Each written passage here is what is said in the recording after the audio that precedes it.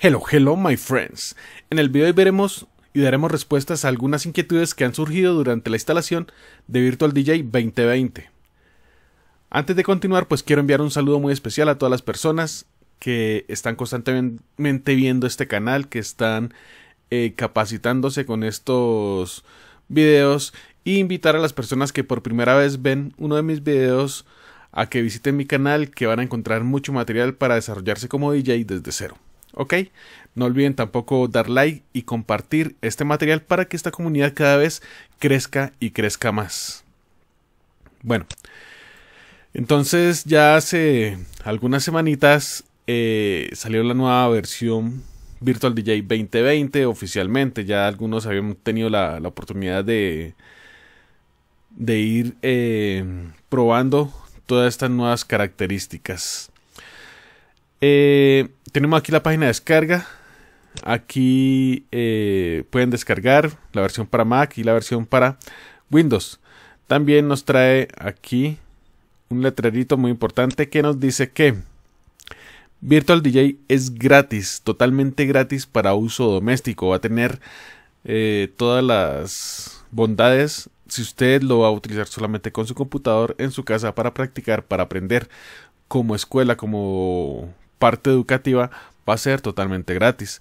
Ya si usted va a una discoteca o un evento y ya utiliza Virtual DJ, ya debe empezar a, comprar la licencia porque ya está también devengando o está utilizando este software para obtener ingresos propios. ¿Listo? Entonces si lo vas a utilizar en la casa es totalmente eh, gratis. Bueno, también aquí en la parte inferior nos aparecen requisitos mínimos debe tener Windows 7 eh, y en Mac debe ser el Mac OS X 10.8. Eh, Los recomendados Windows 10 y Mac 10.13. Ok. Algunos han tenido problema eh, instalando la nueva versión de Windows. En Windows más que todo la nueva versión de Virtual, qué pena, en Windows más que todo. Y pasa lo siguiente. Eh, en esta nueva versión 2020 ya para eh, Windows sale la nueva versión de 64 bits. Para Mac pues eh, siempre ha sido de 64 bits. Entonces aquí no hay problema en eso. Aquí sí. Pero sin embargo si su sistema operativo es de 32 bits puede utilizar esta versión. Listo. Cuando le damos descargar por default nos descarga la versión de 64 bits. ¿Ok? Algunos han tenido problema en Windows 7, Windows 8 y Windows 8.1 con la biblioteca DirectX. Entonces eh, vamos a hablar un poquito para que nos quede, digamos que esa parte eh, clara. ¿Listo? Entonces, DirectX en Windows es una colección de APIs eh, desarrolladas para facilitar las complejas tareas relacionadas con la multimedia, especialmente la programación de juegos y video en la plataforma de Microsoft Windows. ¿Listo? Con Windows 10 eh, tenemos eh, la versión de DirectX 12. Con Windows 8.1, 8, pues tenemos, si no estoy mal, es la la 11. Estas plataformas de Windows no actualizaron a, DirectX 12. Listo. La última actualización de esta biblioteca se realizó en octubre del año pasado, si no estoy mal, cuando eh, llegó la gran acumulativa del sistema operativo. Ok. Y eh, como lo dije anteriormente, es para mm, facilitar las complejas las complejas tareas relacionadas con la multimedia en el sistema operativo.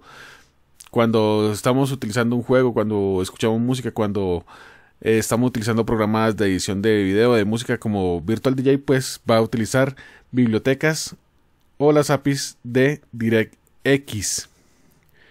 Ok, entonces tenemos que DirectX se compone también de varias cositas como el Direct 3D, que es muy utilizado en juegos, que también lo utiliza Virtual DJ el Direct eh, Grand Prix, el Direct Input, eh, Direct Play, Direct Sound, Direct Music, Direct Show, Direct Setup, Direct eh, Computer, Direct GML, Direct, eh, bueno, varias, varias bibliotecas que ayudan a gestionar y a reproducir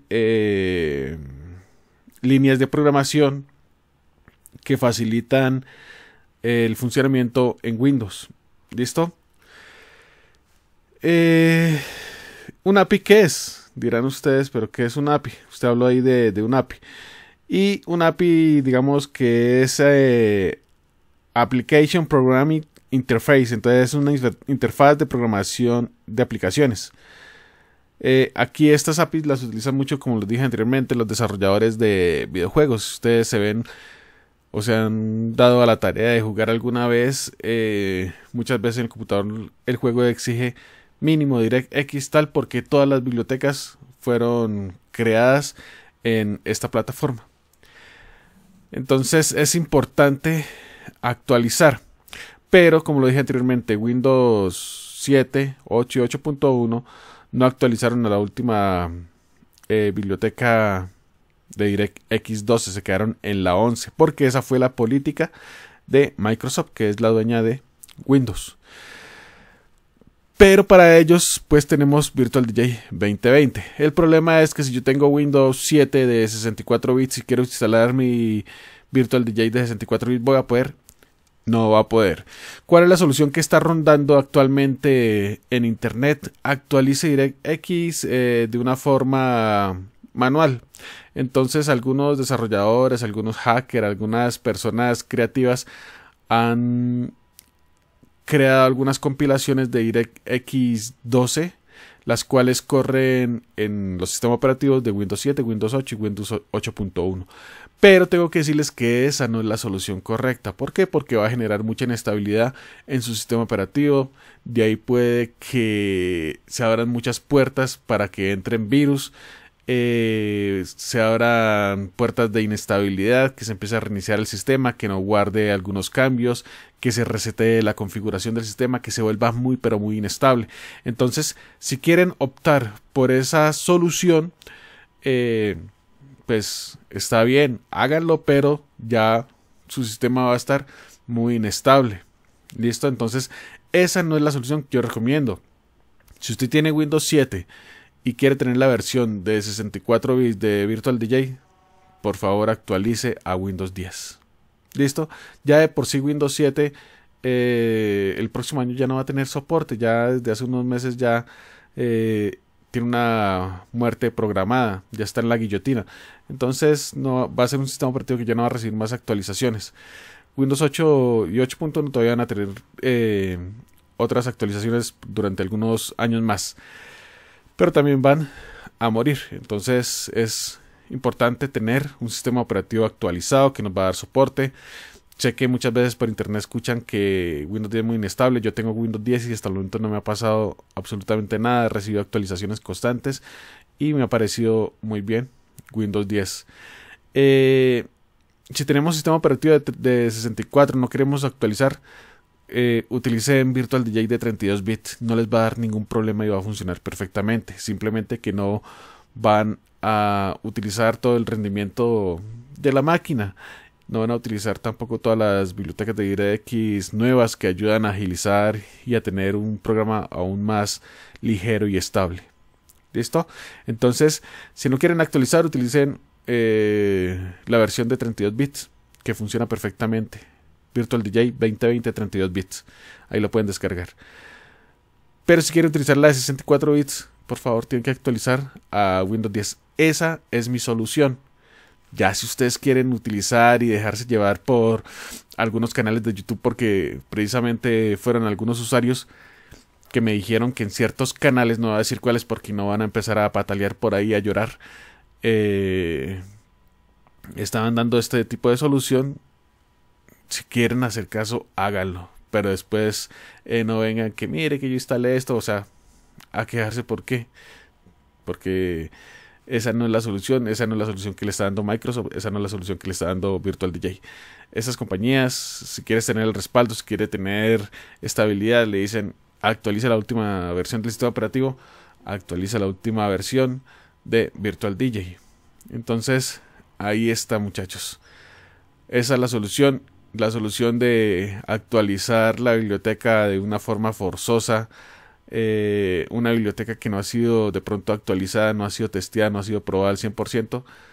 No la recomiendo actualicen a Windows 10 si quiere tener la versión de 64 bits y si no puede seguir manejando perfectamente la versión de 32 bits de Virtual DJ en cualquiera de los sistemas Windows 7, Windows 8, 8.1 y hasta Windows 10 pero si quieres tener todo el rendimiento, toda la estabilidad y utilizar las últimas bibliotecas de DirectX que van a ayudar a tener un programa más fluido eh, con mejores características, pues actualiza a Windows 10 de 64 bits para tener la biblioteca de DirectX. Esa es la solución, muchachos.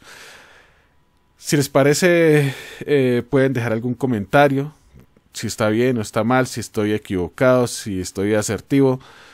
Eh, si se van a tomar la molestia de comentar, por favor, ya saben, de una forma educada y correcta, porque somos una comunidad y no tenemos que eh, tampoco aguantar la vulgaridad de, otras personas.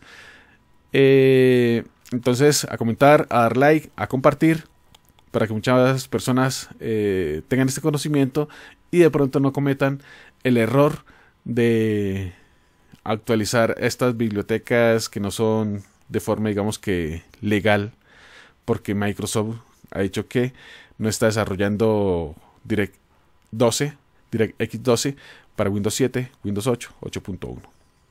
¿Listo? Bueno amigos, hasta aquí el video de hoy. Espero les haya gustado. No olviden dar manito arriba, suscribirse al canal, comentar, compartir, escuchar mucha música, practicar, pero sobre todo pasarla muy bien.